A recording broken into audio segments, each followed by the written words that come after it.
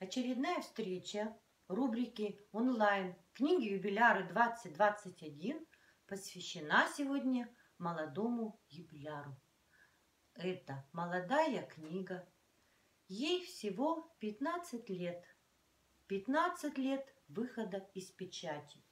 Это книга ирландского писателя Джона Бойна «Мальчик в полосатой пижаме». Книга эта вышла в 2006 году. Она издана в 50 странах, переведена на 50 языков. Эта книга увлекательная. Она затягивает самой первой страницы. История двух мальчиков, двух девятилетних мальчиков, немецкого мальчика и польского мальчика. Они и родились в один день. Немецкий мальчик искал себе друзей. Он увидел из своего окна колючую проволоку. И возле колючей проволоки он часто видел мальчика. И он решил с ним познакомиться. И Бруно, герой книги, пришел к этой колючей проволоке и увидел мальчика, Шмуэля. Они познакомились. Шмуэль, оказывается, искал папу.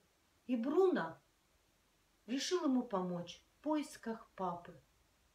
Он переоделся в полосатую пижаму и ушел на территорию лагеря. История двух мальчиков, которые оба уже находились за колючей проволокой. Это книга о том, чтобы ни один человек, ни маленький, ни большой, ни старый, ни молодой, никогда-никогда не находились за колючей проволокой. По этому роману поставлен фильм в 2008 году. А я сейчас вам зачитаю небольшой отрывок из этой замечательной книги. До лагеря они добрались быстро. Бруно жадно разглядывал все вокруг.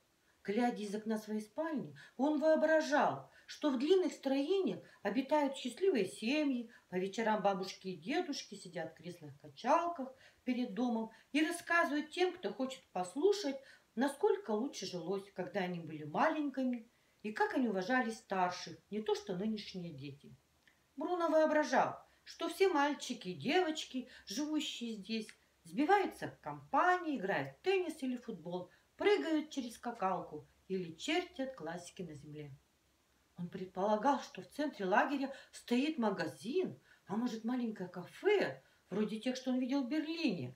В наличии овощных и фруктовых рядов он был не совсем уверен, но все же надеялся на лучшее. Однако ничего из того, что Бруно нарисовал в своем воображении в лагере не обнаружилось. Ни стариков, сидящих в креслах-качалках, на крылечках, и детей, играющих в футбол или прыгающих через скакалку.